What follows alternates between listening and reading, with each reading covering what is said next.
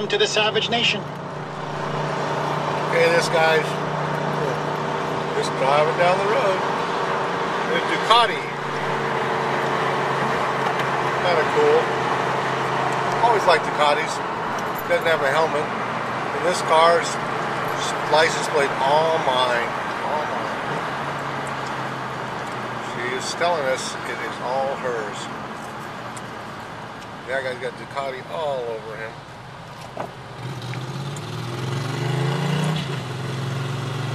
Saw some people in Wasilla the other day doing exhibitional driving.